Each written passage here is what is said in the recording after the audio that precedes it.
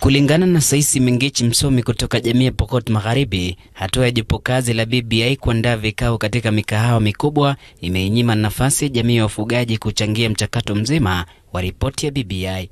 Kuna watu ambao wanaita Blue Band Initiative, mimi naita Big Boys Initiative, lakini wengine wanaita vile inaitwa. BBI ina shida kwa sababu wakati ulianzishwa, wakati wa public participation, Trans Nzoia waliingia Kitale Club, Eldoret wakaingia, wasingisho wakaingia wakaingia Sirikwa Hotel. Ni watu wangapi kutoka mashinani ambao wanaweza ingia Kitale Club? Ni watu wangapi wanaweza ingia Sirikwa Hotel? BBI ina serve the interest of the big communities. Tena minorities wamewachwa kwa BBI, so tusidanganye, tusidanganyane kabisa.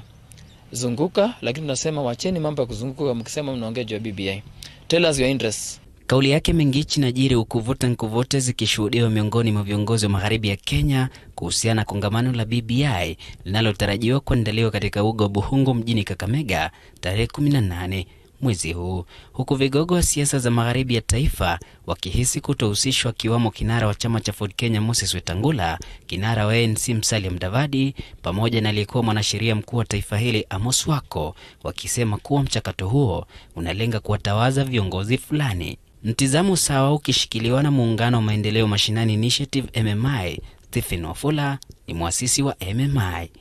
Na mchakato huu mzima wa BBI watu wameanza kuona kwamba picha inayoletwa ni kwamba pengine kuna e, mpango ili kuweza kumtawaza Rais Kenyatta kama e, waziri mkuu e, baada ya kumaliza mambo ya BBI.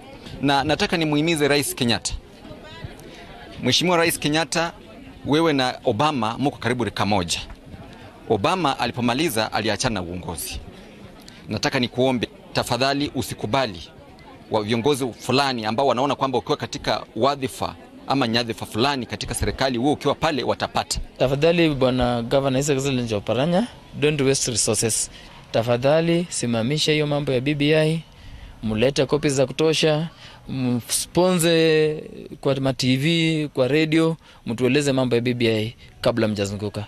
Why you moving around?